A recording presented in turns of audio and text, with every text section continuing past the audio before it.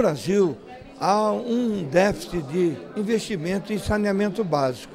É, pela minha formação médica, é muito claro para mim que, por exemplo, doenças como gastroenterite crônica, criança, mortalidade infantil, está diretamente associado à falta de investimento em esgotamento sanitário, água potável, enfim, saneamento básico. E a proposta do, do senador José Serra, ele visa exatamente fazer um gesto para estimular investimento. De que forma?